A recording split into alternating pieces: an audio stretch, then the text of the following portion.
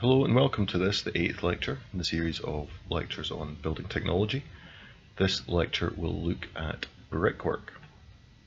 So in previous lectures we looked at historic stonework and the methods and materials used in its construction.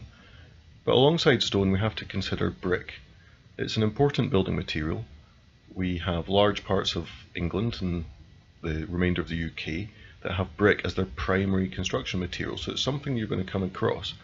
And in Scotland, most areas had their local brickmaker, brick manufacturer.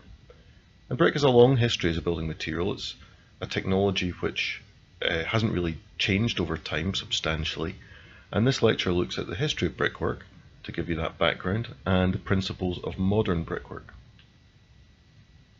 So the most basic type of brick is sun-dried brick. And these have been around for about 9,000 years and they're predominantly found in areas where the climate is warm and dry. Um, they're made of mud and clay mixed together with usually straw, made into a paste, pressed into a mould and then set out to dry in the sun. So it needs a, an area where there's significant amounts of heat, um, hot seasons to be able to dry these bricks. They also tend to work best in areas where there's not going to be frost or significant amounts of rain because they are susceptible to that. And these early bricks were a significant technological step for builders and architects. They could be made to a uniform thickness, which meant that we could build buildings in a very consistent way. They allowed for very large structures to be built. We didn't have to mine stone to be able to build these big buildings. Brick also allowed for decoration to develop. There are some instances where impressions or inscriptions are made into the brick before it's dried. This wall's from an Elamite ziggurat in western Iran, which dates from about 1250 BC. And the methods of making brick are historic and haven't really changed much in time, and these methods are still used now. And we can see drawings from tombs from ancient Egypt, where they're, they're taking water and mud, they're forming it into pastes, they're pressing it into, into molds, they're then laying these molds out in the, the sun to dry and uh, then carting the bricks away. So we refer to these bricks as pressed bricks. And to think about a modern uh, method of producing a, a, mud brick, they haven't really changed for, for the last 7,000 years, or 9,000 years actually. Mud's mixed with sand to help reduce shrinkage. The mixture is then ground with water to make a paste, and pressed into a timber mold, although modern methods might use steel for durability. The bricks are then dried in the sun, and if they're to be fired, they're then put into a kiln to produce a, a durable brick. The alternative to pressing a, a wet mix, a mud mix, is to use a dry mix. And this is very similar, but we're, we're using less water. We're creating a much thicker clay mix and it's pressed into the mold and that allows it to get a much sharper edge. And we can see in modern times that bricks are still made in this same way. Um, we can see in this picture the, the woman with the, the brick mold, the timber brick mold, the, um, the piles of bricks behind her, and each of these bricks is, is a fairly uniform shape. And sometimes bricks are referred to, uh, or mud bricks are referred to as adobe. And uh, this system has been used throughout the world. The, the, word adobe has become synonymous with a style of architecture which is from uh, the kind of New Mexico area of, of North America. Bricks that are used in adobe buildings in New Mexico are usually load bearing, so these aren't just a skin of a building. Um, and they're protected from the weather by the application of a plaster finish. The Romans developed fired bricks around 15 BC, producing the first significant buildings, and they adapted earlier techniques from the Greeks. And the reason that they moved to a, a fired brick was that mud bricks dry very, very slowly, and really you're only being able to produce dry bricks in warmer seasons of the year.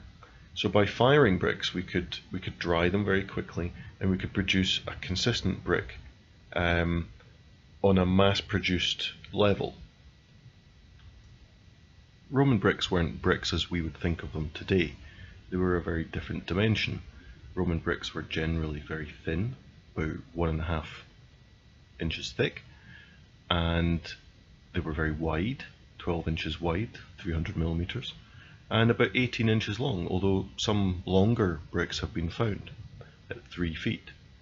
And it wasn't unusual for Roman legions to operate a mobile brick kiln. They took their brick kilns with them when they went out on campaigns around Europe. And we can actually trace the mark of these legions throughout buildings in the UK and the rest of Europe.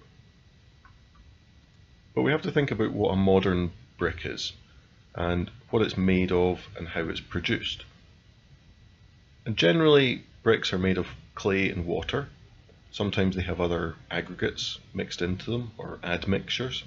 And depending on where they're from in, in the country or the world, they will have a different colour because of the materials and the chemicals and the minerals within the, the, the, brick. And clay bricks and pavers are made up of a great variety of natural clay deposits and they can produce a different characteristic depending on how they're fired and how they're manufactured. Clay is usually crushed, mixed with water to form a, a dough or a pliable material which can then be pressed into different shapes and sizes. There are a couple of different methods of making modern bricks. One of the most common is an extruded brick, where we're forming a, a paste and putting that into a machine so it's mechanically pressed through a shape or a die to form a continuous extrusion and then that's cut to a set width. And this method would be the predominant method for making structural bricks as it gives a nice hard dense result. If we see in the picture behind the, the, the, text here there are three holes within the within the brick there's three perforations and that allows for less clay to be used without compromising the the strength of the brick. These bricks are usually lighter and easier to handle and because they're extruded, they have different thermal properties from solid bricks. A second type of brick that we come across commonly is, is a concrete brick, and we, we wouldn't necessarily call these bricks. Um, they tend to be talked about as blocks. And they're typically pale grey in colour. We make them from a small aggregate concrete, which is then pressed into a, a steel mould. It's vibrated to reduce the amount of air in it, and it's compacted and then the bricks are cured rather than, than fired. So they don't need to be fired in a kiln. They're not, we're not chemically changing clay into a different material. Calcium silicate bricks are made from lime mixed with quartz or other siliceous rock and sometimes colorants. And these bricks produce a very accurate, uniform brick with very sharp edges process of manufacturing a calcium silicate brick requires that the materials are mixed together until the lime is completely hydrated and then the mixture is pressed into molds, moved into an autoclave for two or three hours and that helps to speed up the chemical hardening. Bricks are available in different shapes. Commonly we'll find a frogged brick or a perforated brick or a solid brick and depending on the application you might choose to use one of these shapes. So solid brick has a very uh, level surface at the top, so there's a consistent mortar bed, but it doesn't use a lot of mortar. So these might be used in situations where we would want to reduce the amount of mortar being used. A frogged brick is a brick with an indentation at the top and usually the bottom. That's sometimes where you see the brick manufacturer's name.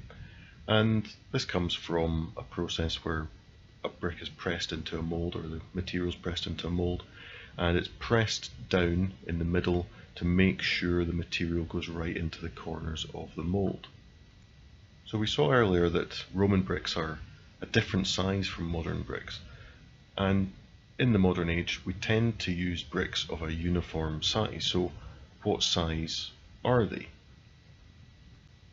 Bricks are usually 250 millimeters long by 102.5 millimeters wide by 65 millimeters high. But there are bricks available which are 73 millimeters thick rather than 65 millimeters. So how do we use these bricks once we've got them made? We need to look at terminology. There are some different orientations that we can use standard bricks in. The first would be a soldier course, where we're taking a standard brick and we're laying it vertically, so the long edge is going upwards in the wall. This is commonly seen over windows. We can also take the short end of a brick and build that into a wall, and that might be common where we're trying to use the brick across two layers of the wall. The long edge of a brick, if laid horizontally, we would refer to that as a stretcher, and the little gaps between the bricks we would refer to as the perpends. There are three main types of brick available in the UK, facing brick, engineering brick and common brick. A facing brick is a brick that you might use on a facade. We would choose these for their aesthetic qualities and they're likely to be of a consistent appearance. An engineering brick is a brick that's used for its high compressive strength. They're traditionally used in civil engineering or foundations and we would use these where we need good strength and resistance to frost and water. These tend to be available in only really two colours, a red and a blue. A common brick, contrary to its name, isn't actually that common and they tend to be lower quality bricks. They have a less consistent appearance and a much lower compressive strength so we wouldn't really use these where we need a durable brick and realistically they're only really going to be used for internal brickwork. So the next thing we need to consider is how we're actually going to use the brick. What kind of patterns are we going to make on the wall? The first and most common pattern that we see is stretcher bond. This is where bricks are laid one on top of the other with their long edges exposed. Next would be Flemish bond where each row has alternating headers and stretchers. English bond has one row of headers and then one row of stretchers and then one row of headers alternating upwards through the wall. Sussex bond is a pattern made of three stretchers to one header and that pattern is then repeated up the wall with an offset. There are many more brick bond patterns, but what they all have in common is that joints, perpend joints between layers, between courses, are never immediately above each other. And if you look back over the previous slides, you'll notice that there's always an offset when looking at a perpend joint, and that's to stop any weaknesses within the wall. So in conclusion, brick is a historic and a modern building material which is used throughout the world. There's a rich history of brickmaking that goes back over 9,000 years, and some of the ancient methods that were used in those early days have survived into the modern era. Modern brickmaking provides us with various types of bricks that we can use for different areas or different uses, and specific methods for laying bricks have been developed which allow us to create walls which combine structure and aesthetics. So aspects that you should take from this lecture are that historic sun-dried bricks are used in areas with low rainfall, that fired bricks are more durable and can be produced more quickly, that different bricks are available for different uses, and that different methods of laying bricks can, can create walls with very different appearances. Okay, thank you very much for listening, and if you have any questions, please ask me in the studio.